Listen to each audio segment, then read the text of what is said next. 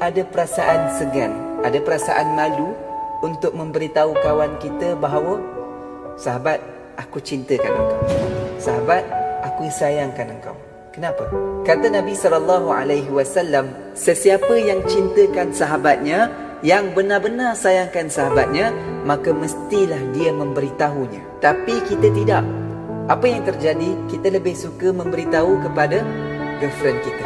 Kita bagi tahu kepada boyfriend kita, kepada orang yang haram bagi kita, kepada orang yang tidak halal bagi kita, tetapi kita lebih suka untuk bagi tahu kepada orang-orang tersebut. Kenapa kita tak bagi tahu kepada kawan kita?